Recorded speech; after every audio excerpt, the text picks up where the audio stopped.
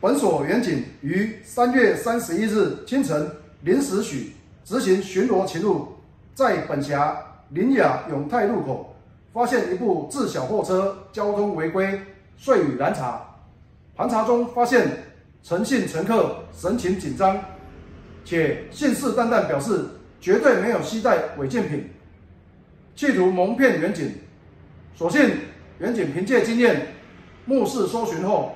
陆续起获 K 盘及海他命毒品等物，陈贤见事机败露，相关犯行均坦诚不讳。随后依毒品危害防治条例，函请裁罚。